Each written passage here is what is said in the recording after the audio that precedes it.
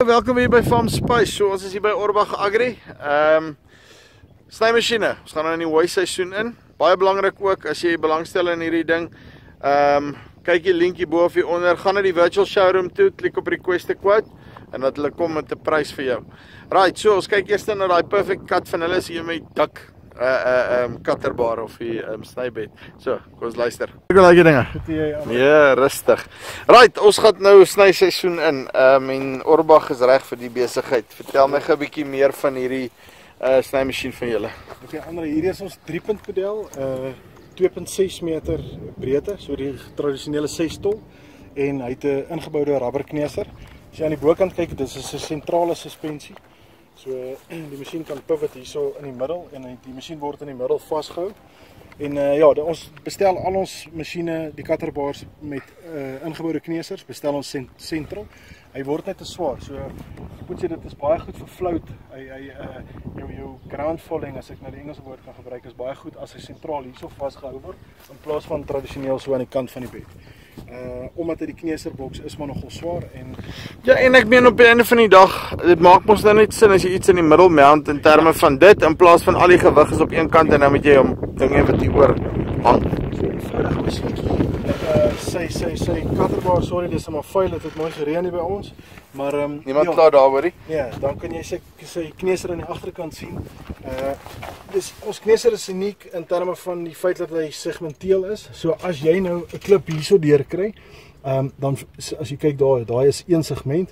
Wat jy dan doen, jy sny hom met 'n grinder uit hierso. Hierdie hele besigheid skuif aan en aan die punt sit jy nou net 'n nuwe nee, segment. Ja, op sy ankel.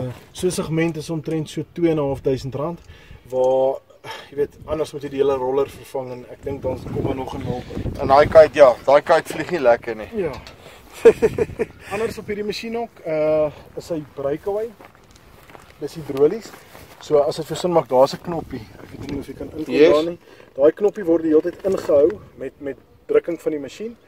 Die oomblik as jou masjien byvoorbeeld 'n paal tref of of iets ordentlike obstruksie kry, dan gaan jou masjien na agter toe beweeg. Daai knoppie word geaktiveer en daai silinder trek dan basies toe. So hierdie hele silinder stoot uit na agter toe en hierdie silinder tel heeltemal op in 'n fraksie van 'n sekonde. So dan kry jy dan kry jy daai aksie. Ja, daar is dit van weg van die moeilikheid ja, af. Dan gaan hy agter toe saam met die klip en op dat hy bo oor hom gaan.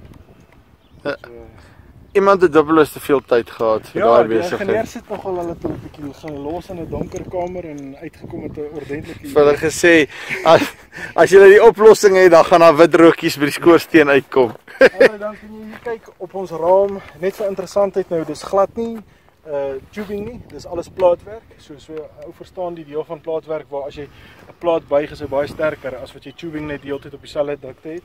Uh ek kan maar loer hierso in terme van sterkteheid en in terme van uh, hoe lank hierdie masjien sal hou, hoe sterk hy gebou is, dink ek. Ja nee, en hy's ja. dit lyk hom of jy kan wel, hoor. Ja, nee. en dan as hy nou in transportposisie kom, wat jy doen is hierdie silinder gaan dan heeltemal terugtrek. Hy tel op hierdie haak as dit vir jou sin maak, gaan dan hier vaskom. Uh, uh yes. seker soos hy tel heeltemal op en dan hang die masjien nou maar so in die lug en en uh ja, vervoer maklik. Die uh kneser se aggressiwiteit stel jy hierso. Het hulle ook 'n bietjie gedink waar dit was baie keer al op die vorige modelle moes jy nou hier 'n piep losgemaak het en met sockets ingekom het. Hier kan jy hom dadelik sien, die twee rollers word na mekaar toe getrek. Jy kan jou windry se breedte wat hy uitgooi ook verstel hierso met hierdie plate en dan ja, as jy net sin nou van die ander kant wil kyk net hoe hy lyk daarso. Cool. So ja, ons voel sakpas masjien ou wat uh uh tot en met omtrent so 50 na 80 uh, hektar lucerne sny, haver sny. Hierdie masjienkie gaan vir jou tipies omtrent so 2 hektar 'n uur gee. So as jy wil somme maak, kom ons sê in 'n dag gaan jy uh, hierso by tussen 15 en 20 hektar, dit hang af hoe lank jou dag is kan af. af. En dan ehm um, sê gou vir my so die die roller en dan wil ek baie vinnig hier kyk. Ja. Die ander kneester wat jy op hom het is byvoorbeeld die tande. Ja, hierdie uh Engelsman noem hom 'n tine conditioner. So uh, op smitsvingergras, op oulandsgras, uh, uh witbuffel, enige gras wat bietjie taaier is as lucerne. Hy hy ek sê nie hy is te aggressief vir lucerne nie, maar hy is hy is aggressief. Dit is die aksie waar die gras kom in en hy word teen 'n plaat vasgedruk en hy word so uitge uh, uitgegooi. As hom gou aan die ander kant kyk, maar jy met 'n uh, stainless steel plaat hier aan die binnekant. Yes. Basies net as 'n bord, so die die gras word fisies net teen hom geslaan. 100. En dan sê vir my pryse op hulle. Uh al twee hierdie masjiene aanreis 265000 voor BTW. Uh Dis dan vir die hoeveel 2.6 meter. 2.6 meter, 6 tol. Dan het ons hom in 'n 3 meter 7 tol ook. Uh hulle gaan na so 275 toe. Maar dis nie te bad vir net 1 tol ek vir 'n 1 tol ekstra ja, nie. Ja, omtrent so kom ons sê so 15 na 20000 gewoonlik uh, Ja. op die 1 tol. Ja. Ook dan bygesê met die kneusers is dit bietjie duurder gewoonlik. Right, so dit is 'n uh, Orbach Agri se uh uh um 3 sny masjiene. Uh as jy belangstel, knoppie hier onder of gaan na die virtual showroom toe. Klik die linkie bo, soek die goede. Uh of kom net by Orbach Agri eie. Okay, jy ook sien net vir hulle die video gesien, dis belangrik. en dan ehm um, druk op die knoppie request a quote en dan sal hulle vir julle die die Farm Space deal op die tafel sit. So is hier van Farm Space af. Tot volgende keer. Groete.